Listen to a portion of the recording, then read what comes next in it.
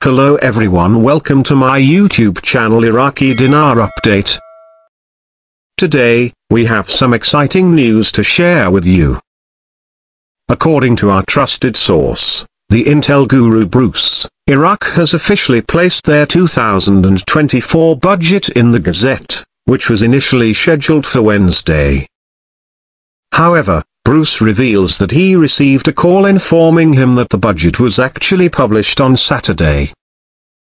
This means that the budget, including the rate of the Iraqi dinar, is now openly available for the entire Middle East region to see.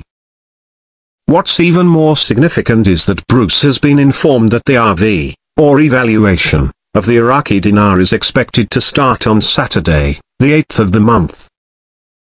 He believes that we may be notified of this event overnight on Sunday, or possibly even wake up to the news on Monday morning. This is a hugely important development, as the revaluation of the Iraqi dinar has been a long-awaited event for many investors and currency enthusiasts around the world.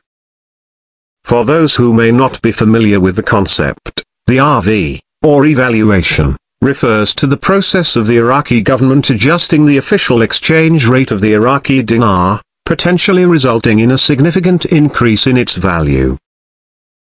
The fact that the 2024 budget has been published, and that the RV is expected to start on Saturday, is a clear sign that the Iraqi government is taking concrete steps towards this highly anticipated event.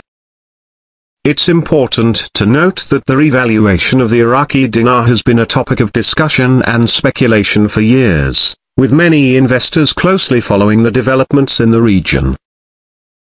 Now, the fact that the budget has been published, and the RV is expected to start imminently, suggests that we may be on the cusp of a major shift in the currency's value.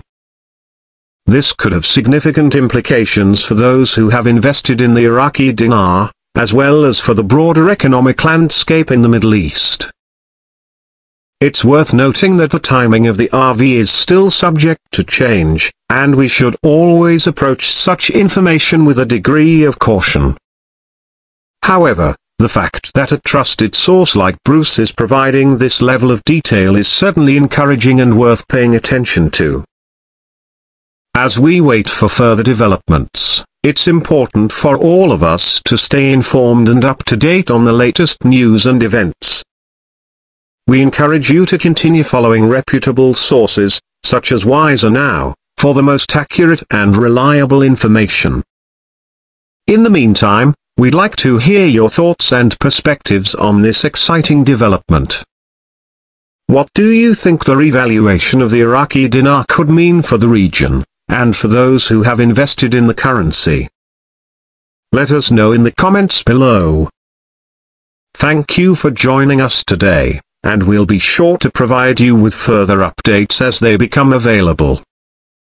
Stay tuned, and keep an eye out for any news related to the Iraqi dinar evaluation.